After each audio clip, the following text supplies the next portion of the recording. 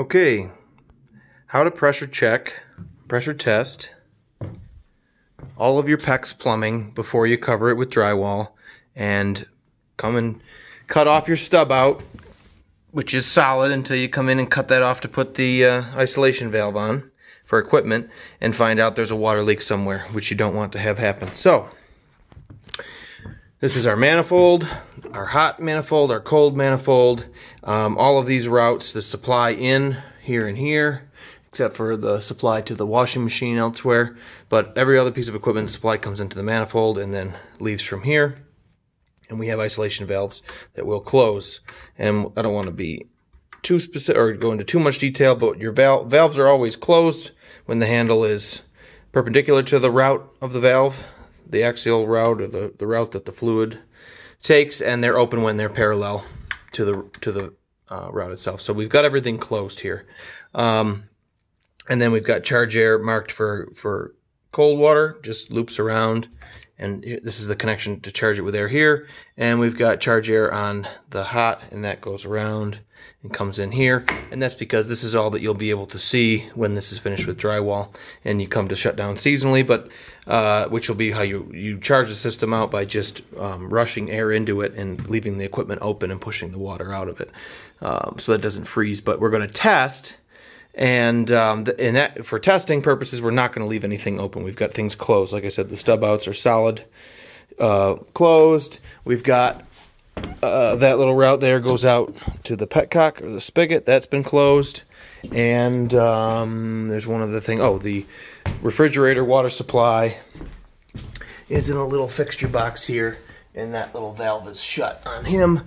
And the laundry valves are shut. They're similar style, but they're closed as well. So what have we done for this? This is a half inch PEX to half inch NPT female. And then we've got a bushing that's NPT, half inch NPT to quarter inch NPT. And then we have um, a little valve stem, like Schrader valve, like you have on your tire, to quarter inch NPT threaded into that. So you got one, two, three fittings. It was the cleanest job of this that I could do. I did have to special order these little Schrader valves. Um, but what that is makes gives us, affords us, is the use of one of these high quality tire filling uh, devices. They have a uh, little lock on so you don't have to sit there. And a lot of tire filling hoses, uh, when you push in, it depresses the, the Schrader valve and you get a tss, tss, tss filling action. But this style will be what I purchase. This belongs to me, but I'll purchase and leave one down here for seasonally shutting down. Um, it allows you to get on there and, and lock on there. Now we've been connected there. So I can sort of leave my post in that way and I can operate it down here. Um, you can have, you know, a length of hose on this device. I didn't bring that with me today, so we've just got it stuck right to the compressor.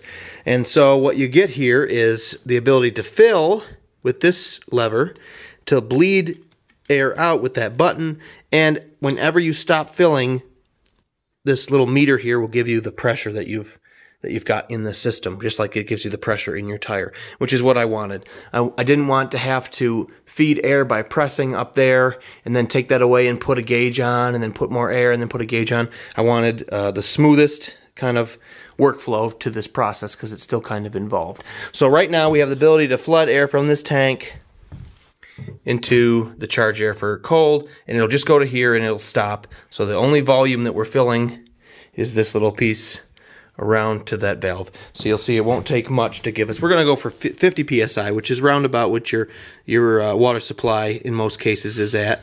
But just with a little shot of that, this comes roaring right out of here. I'm going to use the light on my hat. Um, we'll modify that. But so we want to make sure that we're in psi. Focus, you fuck.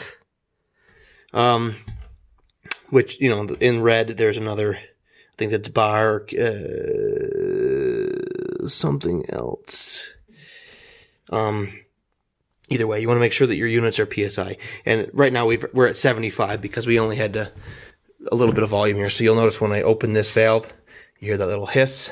Now we've dropped right out again because we've gained all this extra volume of all these routes. Anyway, so what we're going to do to pressure test, we could do a variety of different um, sequences of events.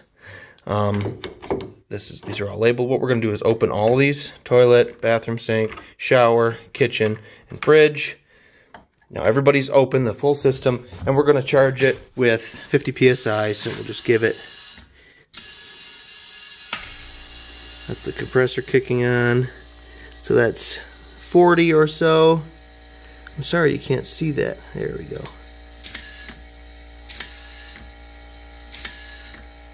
50. It looks pretty good. And I have a nice quiet compressor.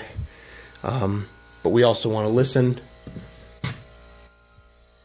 around. So the, all of the fittings are concentrated to this location. And then there's one fitting where it goes from PEX, you know, band clamp from, PEX to any of these copper stubs. and then I, want I had one pair of elbows up there to do this corner because of plumbing those around. But when that shuts up, what you can do is the most effective thing to do is to leave this set for a period of time overnight um, or even for a few hours and see if you lose pressure very slowly. Um, you can also use something like Windex and spray your fittings. I wish that compressor would shut up. Um, but you can give everybody a mist. You know, you can soak everybody down with your bottles open and see if you get any bubbles. Soapy water works the same. I didn't bring a spray bottle to mix soapy water today. So if you just give everybody, you know, a film, a little buildup, and you don't see, this doesn't leave any gross residue using Windex or even just dish soap. But I don't see any issues there, which is real nice. Um, I don't hear anything around here. And we'll do the same for the hot water. Uh, but what you'll do in the future when you come to close down for the season, this equipment will not be sealed. Um, you'll open the valves and you'll open the faucet and most of the water the way that we've plumbed this will run down to this point it'll just be it'll have water standing in it up to the sink but then you'll just open that um, channel, this kitchen sink, and a bunch of bubbles and, and water and stuff will shoot out of there until it's clear. Then you close that valve and you move on to the next piece of equipment and so on down the line until you've cleared all the equipment. And things like the, uh, well, actually, this is how we'll bleed the water out, just as an example. Things like the refrigerator, most of the water it comes all the way downhill to here, but anything that's left, you can just crack him out and it'll piddle water out into our hot water tank uh, pan, which has got a hard um, shower drain style out onto the into the main gray water line. So the place is a little cramped, but um, we've got seasonal um, pressurizing and plumbing tests that we've been able to do here on account of the way that this was set up. And uh, I like the the little tire connection, which gives you the automatic, because you don't want to put 100 or 150 psi in the system. It would never take that in with water, and um, you can have catastrophic failure when you get up to that level. But 50 psi is a lot like a truck tire.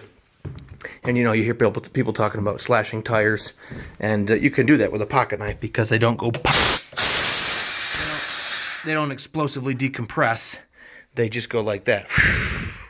You know, it, it's not like some of those videos you see when they overfill a truck tire at a at a semi truck garage and it explodes and hits the ceiling. That's that's you know getting into over 100 psi. So it's relatively safe to do, and um, if you take precautions, you know I'm wearing glasses and a hat for no reason really. I'm fairly confident in my work here, but um, that would be how I recommend it. I did have uh, air tool connections on here before all the way up till today actually.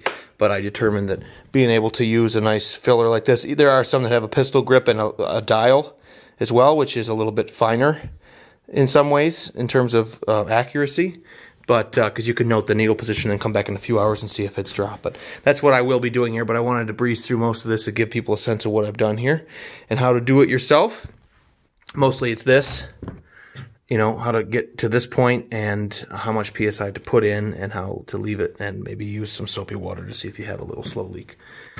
There you go. We'll see you.